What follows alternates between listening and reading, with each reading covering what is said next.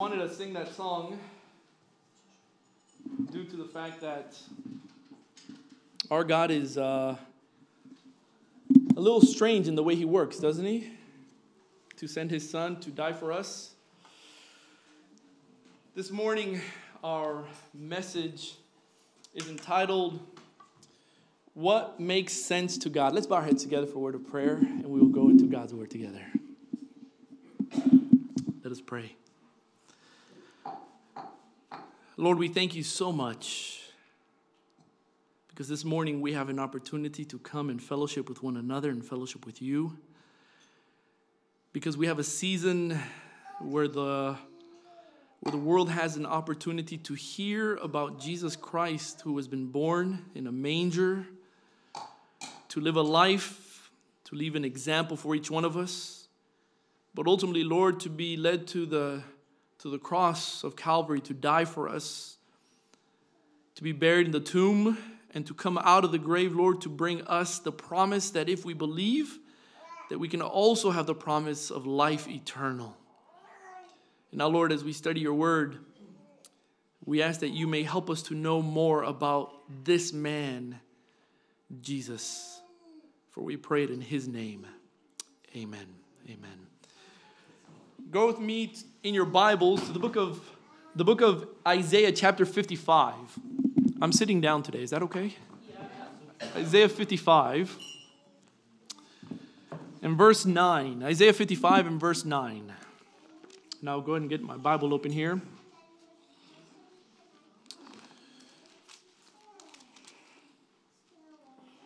Ah, there you go. Isaiah 55, verse 9. Uh, sorry. We're going to start at verse 8, guys. Excuse me, verse 8. Isaiah 55, verse 8. It says this For my thoughts are not your thoughts, nor are my ways your ways, says the Lord. For as the heavens are higher than the earth, so are my ways higher than your ways, and my thoughts more than your thoughts. There's a, a movie that it plays upon a a historical account. Now, of course, like most movies, uh, if you guys watch movies, like most movies, they exaggerate. They, they tend to bend the truth a little bit, right? They need it for drama, for effect. The book, the movie is called Troy. Now, I don't recommend that you actually watch the movie.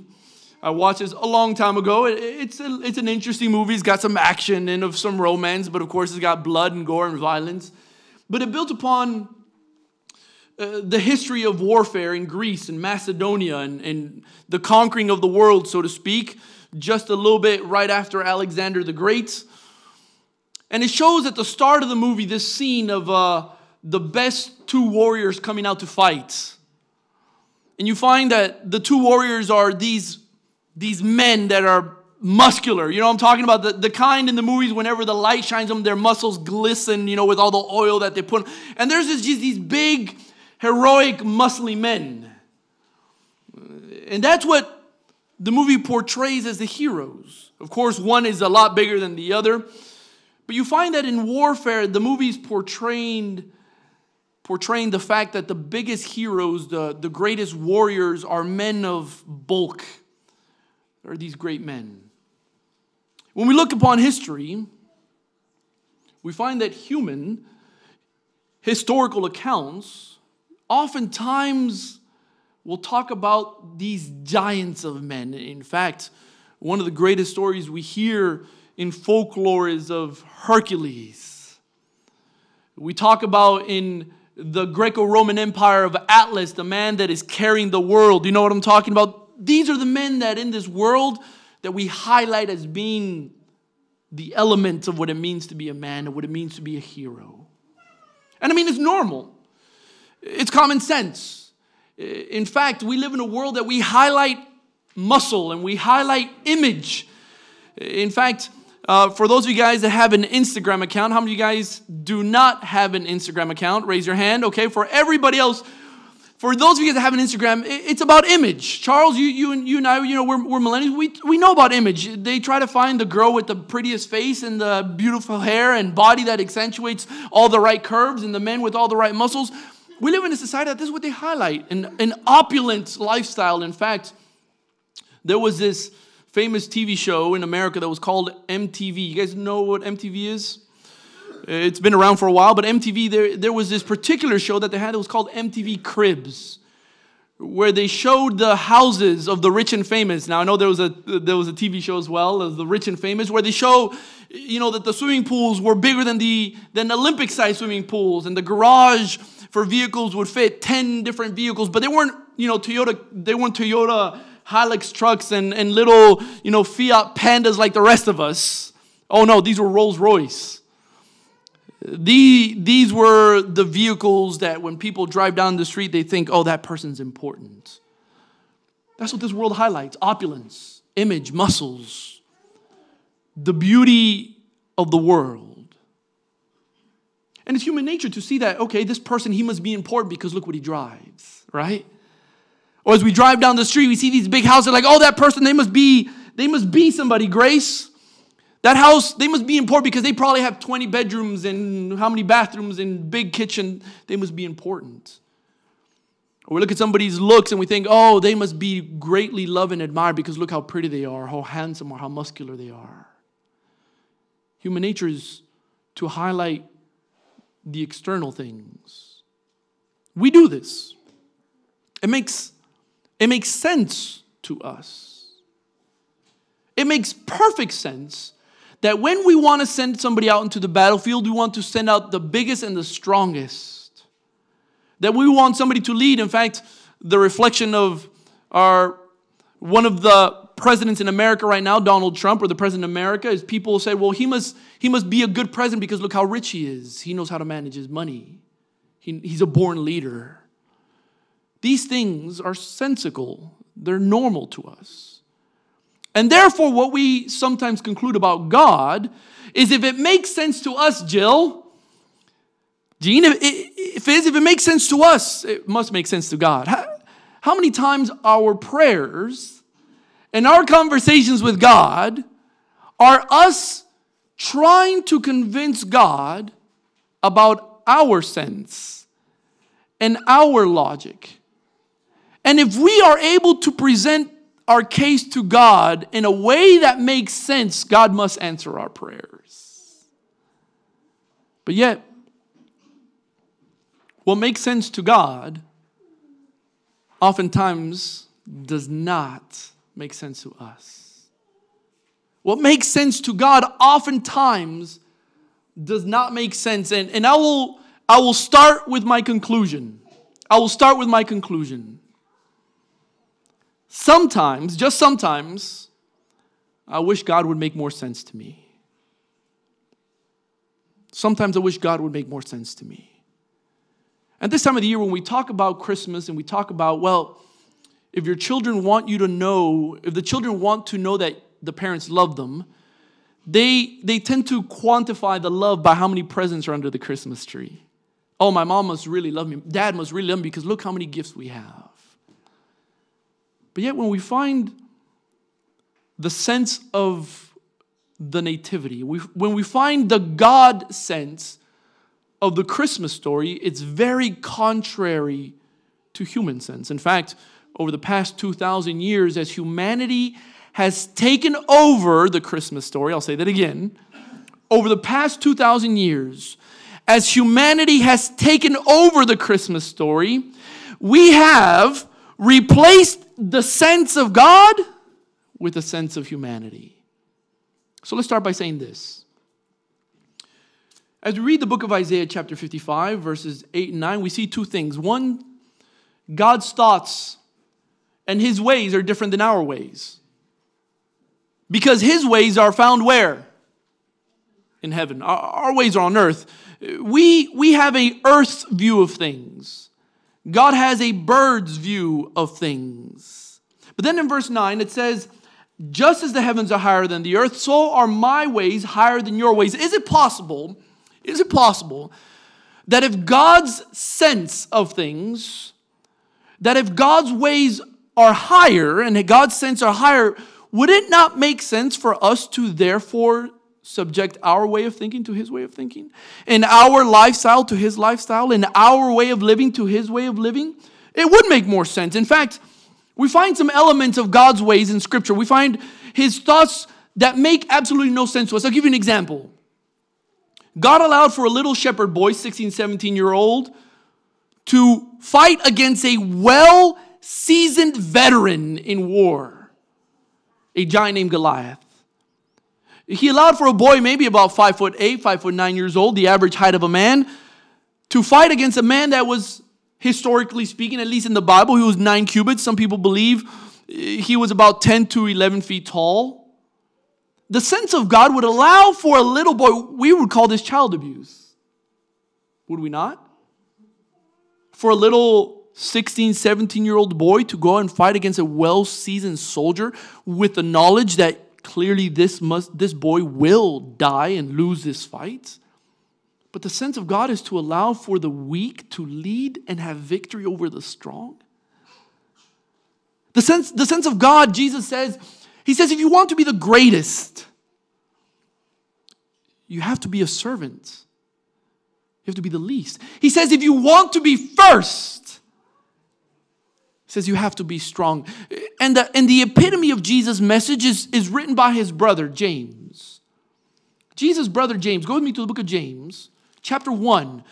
Jesus' teaching that the greatest must be the least, that the first must be the last, is written down very appropriately by Jesus' own brother in James chapter 1. Verse 27, the last part, but we'll read verse 27. James 1:27 it says, "Pure and undefiled religion before God and Father is this: to visit the orphan and the widow in their time of trouble." But here's the punchline.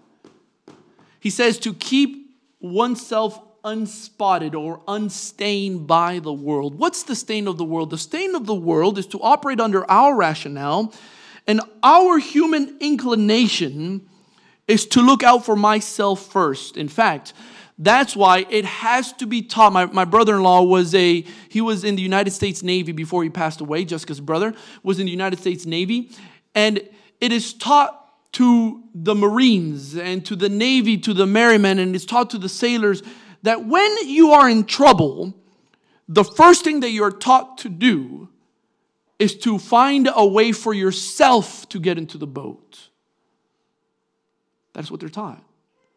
It's in the training. My own cousin, who's in the Navy right now, he is a what's called a commander. He is third from admiral, which is the third highest possible rank in the military for the Navy. It is taught in the manual to our soldiers that in time of crisis, if the boat is sinking, think of how you're going to get out of the boat. How are you going to save yourself? Human nature is to try and put yourself first. That's why James says, that the stain that we must keep ourselves unspotted and unstained by the world to think about others to think about the widow and to think about the orphan. I, I believe that god's sense will oftentimes leave you in second place. That if we were to subject our rationale and our way of thinking as as humans and as Christians, if we are to follow God's moral, God's moral compass, his moral paradigm, it is to live for others and put them first. The rationale of the greatest being last, being least, of being a servant, the first being last, the weak to lead the strong, that rationale is totally contrary to what the world teaches. In fact, we find that the first deception in Genesis chapter 3 the serpent tells the woman, it says, You will be like gods. You will be like gods, knowing good and evil. The temptation, the sense of sin and the sense of the world is to put self first, but where the sense of God is saying no, put others first. So, how did God carry out his sense? How, how is it that God made his sense physical? How did God make a concept, a moral objective of putting others first? How did God make that logical and real to us. Let's find this sense. When God sent his son to be born, in the book of Luke, chapter 2, we read that he picked a, a woman. But in the book of Luke, chapter 2, he didn't just pick any woman. He picked a, a woman that was a virgin, right? Let me ask you guys a question. How many of you guys feel perfectly, felt perfectly capable whenever you had your first child saying, Oh, I'm going to be a perfect mother? I know what to do. How many of you guys, whenever you had your first child, you thought to yourself, when the child, their temperature is at, you know, certain degrees, but it's not, it's not quite a fever, you're like, I got this under control. How many of you guys felt under control when you had your first child? Maybe your second child. Maybe about the third child. Okay, I'm getting the whole, I'm getting a grasp of things, right? About the third child, right, Paul? We're like, okay, why, why didn't Jesus, excuse me, why didn't God send his son to be born from an experienced mother? Why? Why a mother who's having a first child? Secondly, why, why did God send his son to be born of a virgin? I mean, talk, talk about a woman who would be marginalized by society if people found out that she was pregnant out of wedlock in a society and in a culture and in a religious upbringing that if you are pregnant out of wedlock, you are to be stoned.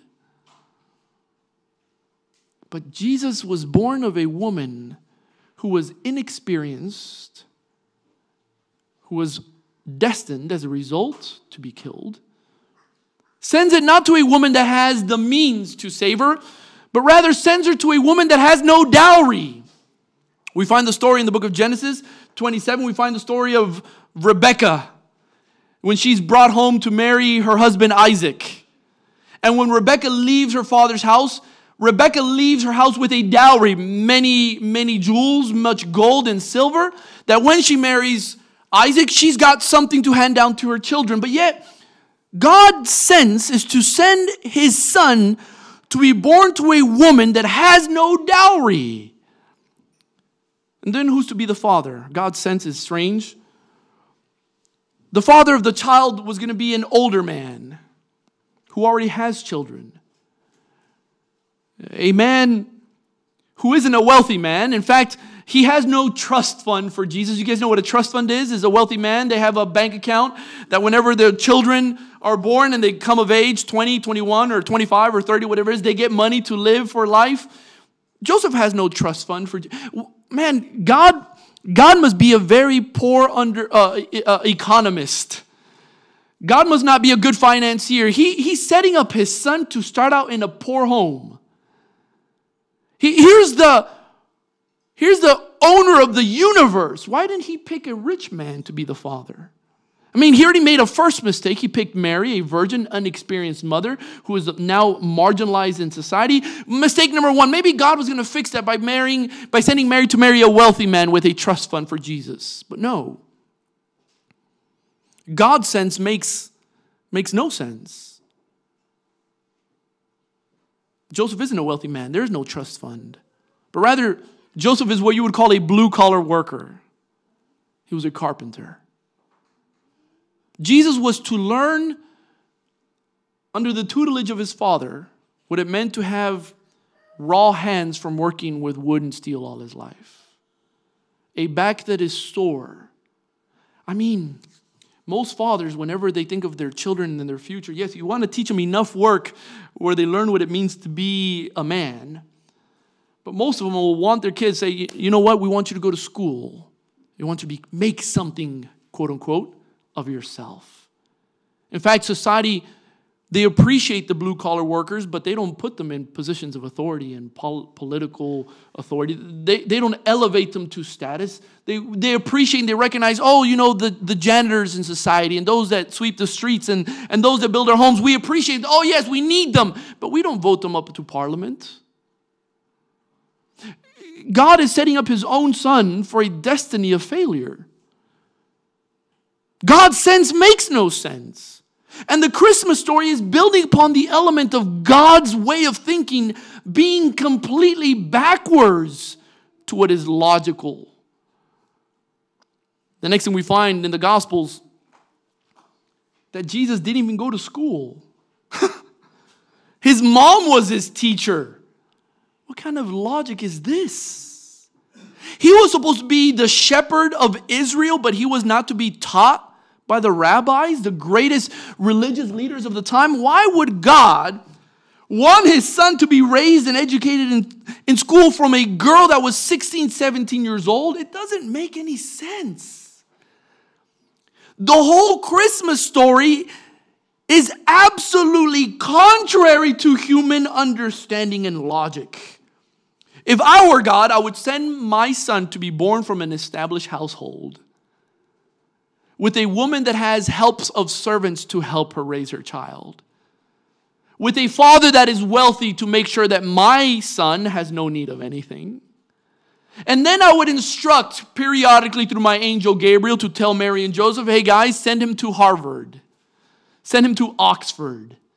I want him to go to the best university and receive the best. education. If I were God, I would do completely the opposite of what Jesus was raised to be. Think about it. Sometimes we judge God because he's so different from how we would do things. In fact, we live in a world that paints God as an idiot, almost as a non being. Because if God were God, why would he do these things and allow for these things to happen?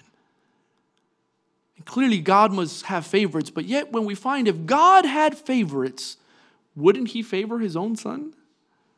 How, how many of you, whenever your children got in trouble in school or when your children get in trouble in church, you first take your own child's side? Uh, are y'all following me here? God's logic, God's sense is totally backwards. And the revelation of the birth of his son is completely backwards. Makes no sense. His son wasn't born in a first class hospital with the best pediatricians, cardiologists around to be ready to attend in case something goes wrong.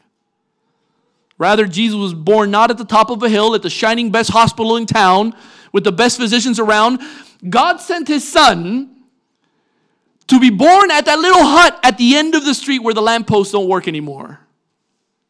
In America, there's this saying that people that are poor are born on the other side of the train tracks. Guess familiar with that concept? Jesus was born on the wrong side of town. Human sense. My son would be born, God's son would be born at the best place with all the attention. But yet Jesus was born on the wrong side of the tracks. He was born in a manger. And you know what? Maury, I appreciate you building this manger. I would imagine that the manger that Jesus was born in was probably, of course, a little bit bigger than this. But it probably, the people that built that manger probably didn't put much time and thought into it. They probably said, we need, I need shelter from the rain for my, for my cattle and for my sheep. I need a place to store my hay. And they probably built it over the course of a day or two. But they didn't think about whether wind would come in. I mean, they're animals that were going to stay there after all. Maury, when they built this, they probably didn't think, well, let me, let me make sure that I put good sealer on it to make sure that the wood lasts. Whenever the manger was built, the people that built the manger 2,000 years, they weren't thinking about a man being living there, much less a baby. Be- no, they were thinking of a place for the hay and for the animals. It makes no sense. Why would God send his son to be born in a place where animals would be? He was not born in a rich man's home. He was born in a, in a stable with three walls, not even four. Jesus wasn't born in the capital city, wasn't in Jerusalem. But rather, he was born in one of the humblest towns in all the region of Judea, the town of Bethlehem. Yes, it was a town of David, yes. Prophetically speaking, we understand that the Messiah was to be born in Bethlehem. It was prophesied by the prophet Haggai. Yes, we understand this, but, but, why the smallest of the cities of David? David had 30 cities. 30. Why Bethlehem? A little rinky dink town uh, I, have had the opportunity to travel through Scotland. I've driven through some very small little villages in Scotland. Why would God send his son to be born in a little village when he could have chosen Edinburgh, Glasgow, or, or Aberdeen? Or why, why not? Why, why would God not send his son to be born in the best city? Then when people ask him, Jesus, where were you born? I was born in Jerusalem, everybody. I am from Jerusalem. Hey, Jesus, where were you born? I, I was born in Bethlehem. Humble town. Jesus' parents, their marriage, their wedding wasn't announced at a local newspaper. The, the, the ministers weren't lining up to say, Oh, I'll officiate. Do you know uh, that whenever just recently we think about Harry and Meghan, if I can call them that, when they married, do you know their list of ministers was extremely long? How many people would have quit everything to be the officiating minister at the wedding for the royals. There wasn't a royal around. There, there, wasn't a, there was no lining up of ministers to say who's going to marry uh, Mary and Joseph. It was in America what you call a shotgun wedding. A shotgun wedding in America is you got my daughter pregnant, you marry her, or shotgun wedding. It was an elopement. There weren't ministers lining up to be saying, well, well can you tell me your Well, I married Mary and Joseph. In fact, people were running away.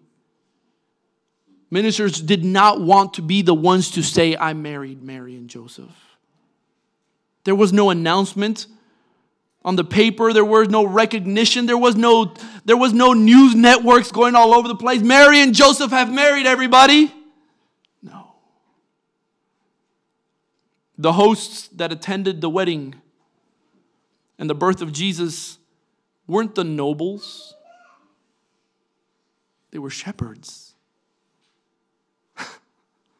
the attendees at the birth of Jesus were shepherds.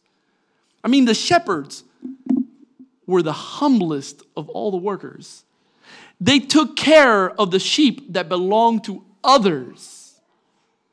A shepherd's wage was one sheep for every three months of work. That's what they would get paid.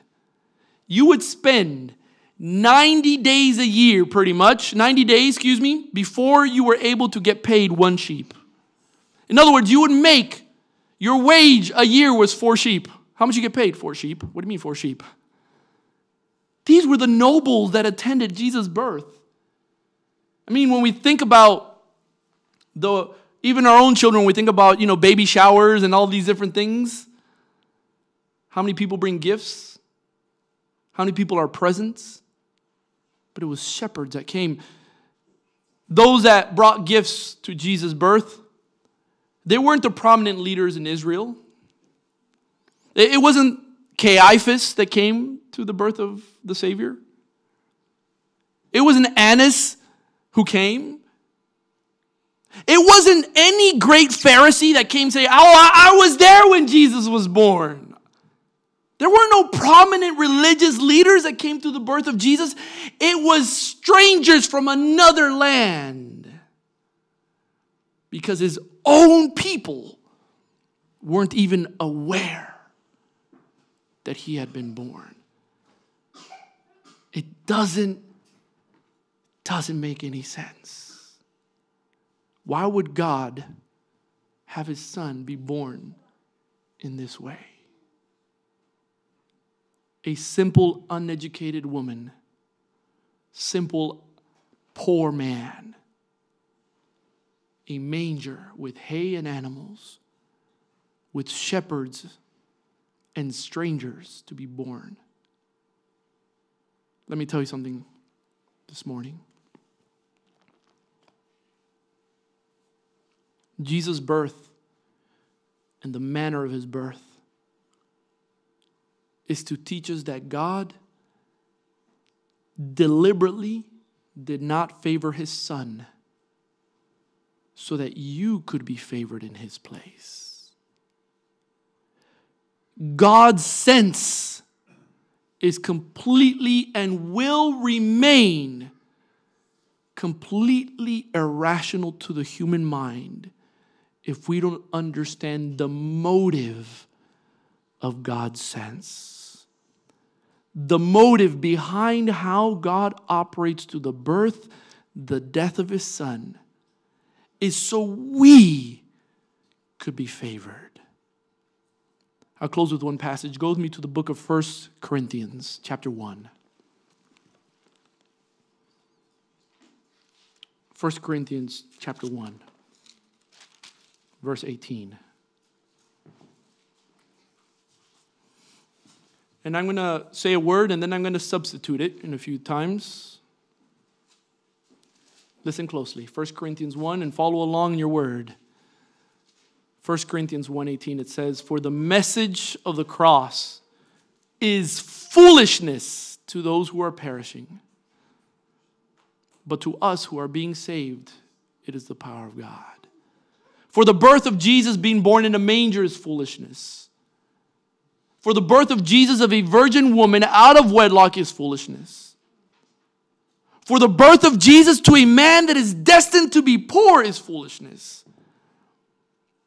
This, this that we are celebrating over the next few weeks is foolishness to the world.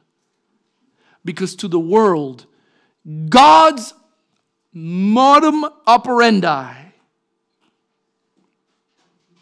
makes no sense.